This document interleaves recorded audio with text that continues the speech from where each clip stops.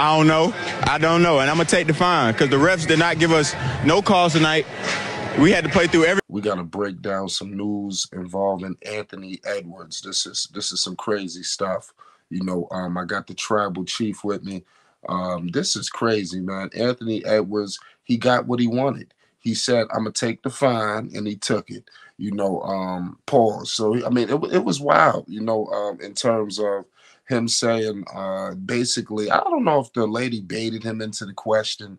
It was a tough game. They did beat the Oklahoma City Thunder. Those two teams look like they're jockeying. You know, it's going to be pretty crazy um, as the season goes on. But he was fined, granted his $40,000 fine. I want to read the report that came out from the NBA today. Um, and this is coming from New York. You know, um, it's, it's, stated that the Minnesota Timberwolves guard Anthony Edwards has been fined $40,000 for repeated public criticizing the officiating. It was announced today by Joe Dumars, Executive Vice President, Head of Basketball Operations. Edwards made his comments post game following the Timberwolves 107 101 victory over the Oklahoma City Thunder on January 29th at Pay, Paycom Pavilion. Pardon me, Paycom Center. So this is a wild situation. You know, um, I don't know where Edwards goes from here, but he is a spectacular player. Make no mistake about the situation. Um, this man is averaging 25 points per game, shooting 46% from the field, 38% from three, five rebounds, five assists. Uh, he's got Minnesota, you know, um, really at the top, upper echelon right now. Number one you know, out west 33 and 14, and Oklahoma City is right there on the heels at 32 and 15. You know, um, Chief, what's your thoughts on this situation with Anthony Edwards? This fine, let, let, what's going on? I love it. Forget all the friendliness. I want to see some rivalries. I want to see hatred. I want I want it to be I can't stand you type energy in this new age NBA and with the money and, and a little money to and put a little money on the table to boot, please. Anthony Ezra, Anthony Ezra Edwards is one of the young stars in this league, and now, as the young stars rise, flight, we got to see who the pecking order is. Shai is there too now. Who is the guy in the West? LeBron and and and KD, their days they are in the sunset. Steph Curry in the sunset. There is Zion. There's Anthony Edwards. There's Shai Gilgeous Alexander, right? There's Ja Morant next year. Those four. You know, you can argue about Sabonis and you know and Fox in Sacramento. You know, we'll see what Phoenix does with Devin, man. But this is the West. This is coming up in the West now. You know, and the rivalries are beginning to shake, take shape now for the new generation. I love it, Flight. I want more. I want more. I want more trash talking, not less. You know. Right. So, so you you think there's something going on between him and Shai? Yes, they're competitors. Shai, you know, Anthony Edwards, the, the, this was coming, man. Anthony, they, the last game they played prior, Anthony said you can't touch him and all this other stuff. He complained a little bit about it, you know, and Shai responded on his Instagram.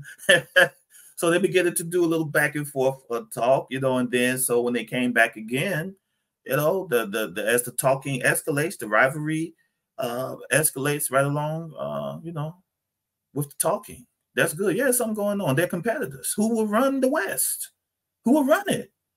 That's the question. Anthony said, I'm gonna run it. Shai said, No. I got a younger squad. I got Chet. I got these other people. Let's see. Well, I love it, like why do you think the NBA protect the officials like this? It's gonna it, they're gonna have to do something because it's getting to the point where just about every game is being focused on more and more about all the players you know more and more. You know some of it people attribute to social issues certain refs that in the past they wouldn't have they have now whatever that is. I'm not trying to jump to all that foolishness but but the the quality of the refing is something that is to be considered. And also rumors of officials calling the game a certain way for certain narratives to take place in NBA is also an ongoing conversation, whether you take it accept it as real or sports conspiracy that's out there, flight. Right. No, I, I totally agree with you.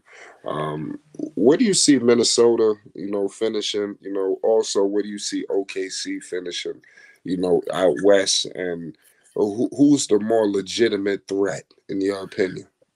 Well, see, Minnesota got they got into the playoffs last year, so this year they will build on it. Hopefully, right? This will be OKC's first go around in a long time being in the playoffs. So uh, it's it's right now they're one and two. I think that Minnesota, because of playoff experience from last season, maybe they can continue and make noise in the playoffs. Whereas OKC, their first time in, even though they're at the top, the bottom teams, that's where LeBron and Steph and KD are. More experience down there. So OKC you know, the experience of even though those are lower seeds, their experience may trump OKC this year. So it'll be a learning experience for them this year. Anthony Edwards in Minnesota, after last year, they should be more prepared this year to, you know, make a make a deeper run, in my opinion.